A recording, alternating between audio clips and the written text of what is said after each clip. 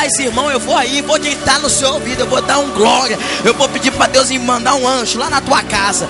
Grita aí, meu irmão, pelo amor de Deus, balança esse irmão que tá do teu Melhor, segura no ombro dessa pessoa, no ombro. Segura no ombro, melhor, no ombro. É lá que tá o, lá que tá um dos sistemas nervosos. Vai lá, segura lá, vai, vai lá, vai lá no ombro. Dá uma balançada forte nesse irmão, vai lá. Balança esse irmão com força, por favor. E diga assim: Deus ainda vai te usar muito, rapaz. Pode falar, olha no olho dessa pessoa e fala: Deus ainda vai te usar como nunca antes te usou, hein? Vão tentar te humilhar, vão, ai, me ajudem aqui, por favor. Vão tentar te humilhar, vão tentar te rejeitar, vão tentar te esquecer. Agora, aquele que está lá no alto, ele não te esqueceu, ele não te esqueceu, ele não te esqueceu. A Bíblia fala: ainda que eu andasse pelo vale da sombra da morte, não temeria mal algum, porque tu estás comigo, a tua vara e o teu cajado me consolam. Ei, a Bíblia fala no livro de Salmos 46, 1: Deus é nosso refúgio e fortaleza, socorro bem presente na hora da angústia. Aí, versículo 10 diz assim: Aquietai-vos e sabei que eu sou Deus, serei exaltado nas nações, serei exaltado na terra. Ei, livro de Salmos 27, 1 diz: O Senhor é minha luz e a minha salvação, a quem temerei? Ele é a força da minha vida, Quando os meus inimigos vieram para comer a minha carne, tropeçaram e caíram. Mas ainda que um exército se levantasse contra mim, o meu coração não temeria. Ainda que a guerra se estourasse contra mim, nele eu confiaria. Nele eu confiaria. Nele eu confiaria. Ei, eu estou te falando de um Deus que deu Deuteronômio 32, 39 diz: Veja agora que eu sou, e mais nenhum Deus comigo. Eu mato, eu faço viver, eu firo, eu saro, e não há ninguém que escape da minha mão. Diz o Senhor dos Exércitos. Ei, meu irmão, eu estou te falando de um Deus que Lucas 1,37 diz: haveria alguma coisa impossível para o nosso Deus. Ei, meu irmão, eu estou te falando de um Deus que no livro de Salmo 91, 7 diz assim: E cairão ao teu lado, dez mil à tua direita, mas tu, mas tu, mas tu, mas tu não será, atingido, não será. Ei, Isaías 43, 1 diz: Assim diz o Senhor que te criou, Jacó, e que te formou, Israel. Não temas, eu te remi, eu chamei-te pelo teu nome, tu és meu. Quando passarem pelas águas, estarei contigo. Quando passarem pelos rios, não te submergirão. Quando passarem pelo fogo, não te queimará, e nem a chama em ti, porque eu sou o santo de Israel. Eu sou o santo de Israel, o Deus Salvador. Levante a sua mão, vai, vai, Deus vai te encher.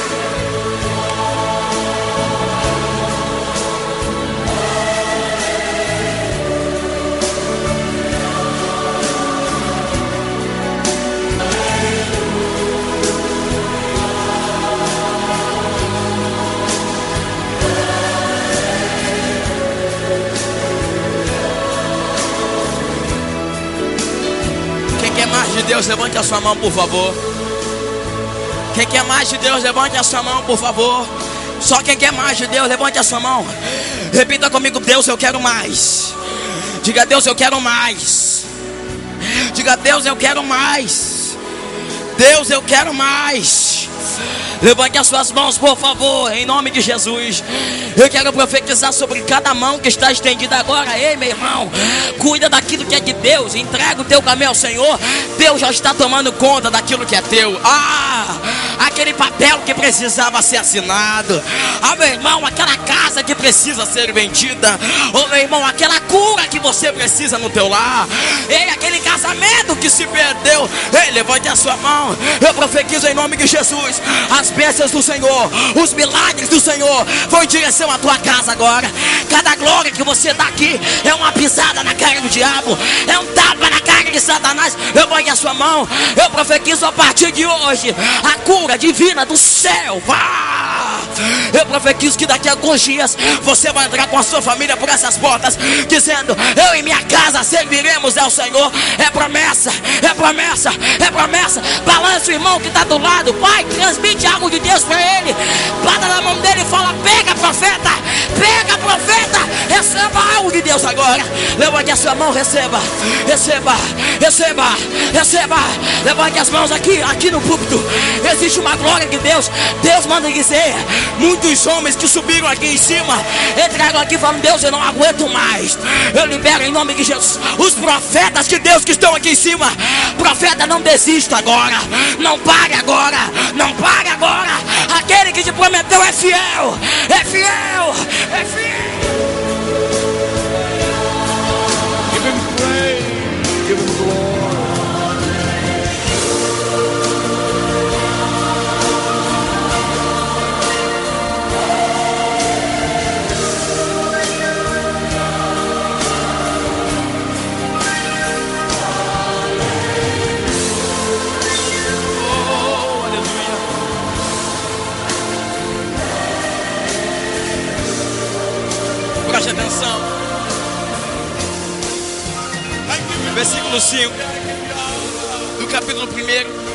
Antes que eu te formasse no ventre, eu te conheci.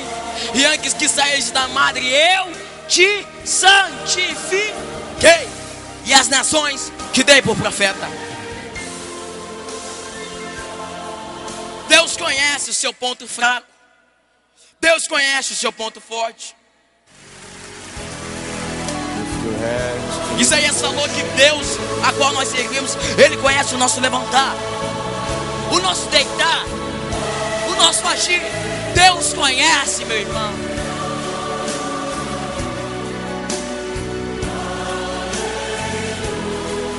Tem momentos na nossa vida que nós passamos por vales. Tem momentos na nossa vida que passamos por desesperos. Tem momentos na nossa vida que passamos por crises espirituais, crises seculares.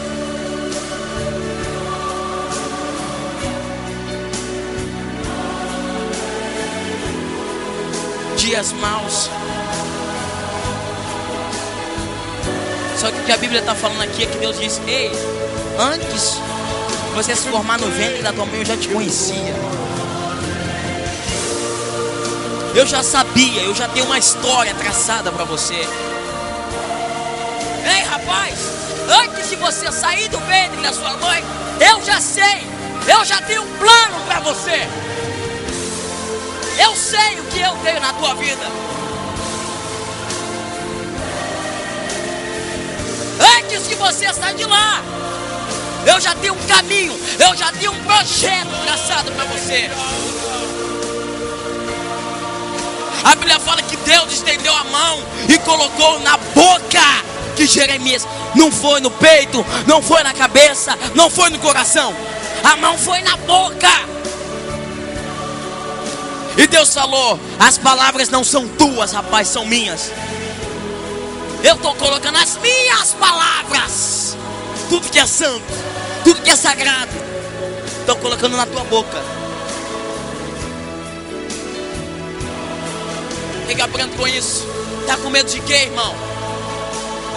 Tá preocupado com o quê?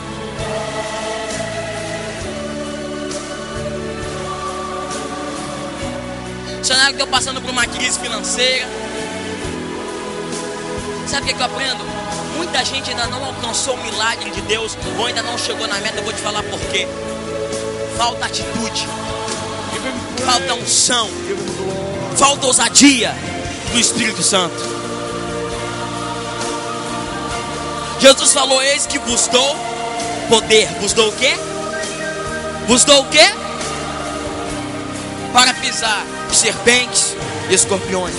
Deus falou: Eu te dou poder. Falta atitude na igreja de hoje. Falta atitude. Você chegar na sua casa e colocar as mãos sobre a sua enfermidade colocar as mãos sobre os seus filhos, dar a mão ao seu esposo ou à sua esposa que talvez estejam sumidos e você começar a orar e profetizar a partir de hoje, vai mudar isso aqui. Eu creio num Deus que vai mudar isso aqui.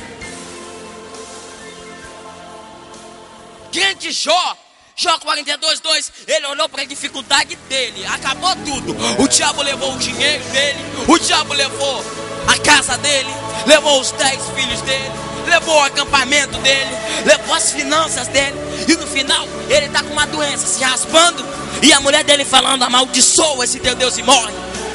No final das contas, ele está no meio da cinza, sem lugar para morar, com doença maligna, sem a família, e todos acusando ele, e os amigos abandonando ele. No final das contas, a Bíblia fala lá em Jó 42, 10, que ele estava orando no meio da dificuldade.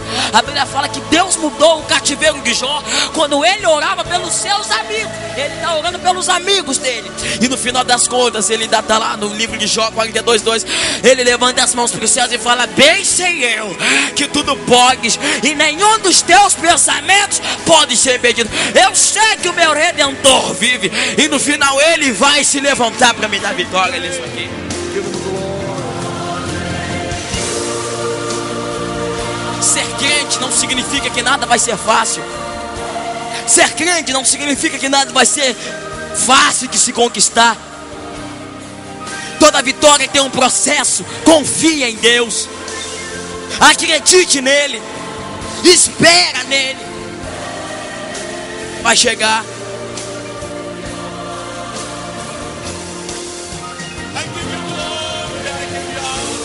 Não tema diante dele, porque eu sou contigo para te livrar, diz o Senhor. Pelejarão contra ti, mas não prevalecerão contra ti. Coloque-se de pé, por gentileza.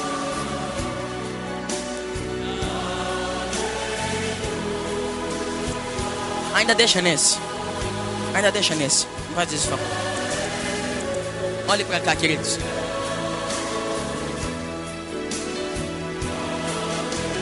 Deixa eu encerrar isso aqui.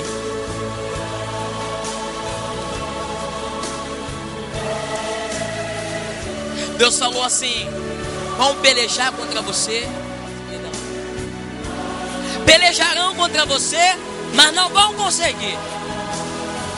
Não vão conseguir.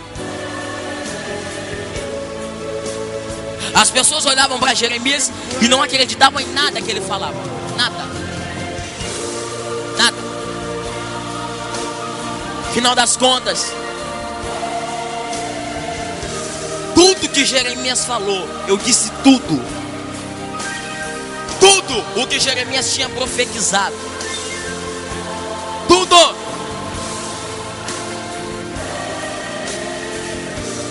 Tudo que Jeremias tinha profetizado. Tudo. Todas as coisas que ele profetizou se concretizaram. Se concretizaram.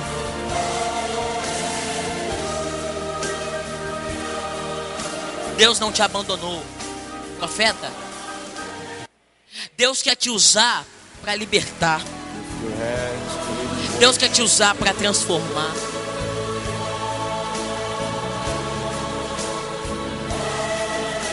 Quantos profetas nessa noite querem ser usados por Deus aqui?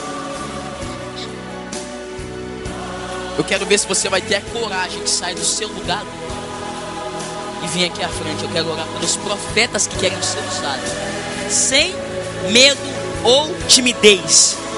Ainda que tenha uma, eu vou orar agora. Venha. É quem quer. Quem quer mais de Deus? Vem aqui. Eu vou orar. Glória a Deus. Deus Aleluia. santo e poderoso. Aleluia. Aleluia. Aleluia. Aleluia. Aleluia. Escolhe alguém do seu lado, fica de frente a frente com essa pessoa. Escolhe alguém do lado. Fica de frente a frente com essa pessoa. Não são do Santo Espírito. Ser um mãos. Não perder a comunhão. Ó meu Salvador bendito. Ele quer te usar. Acender uma fogueira no escuro do deserto. Sabe pra quê? Para conduzir alguém hoje chora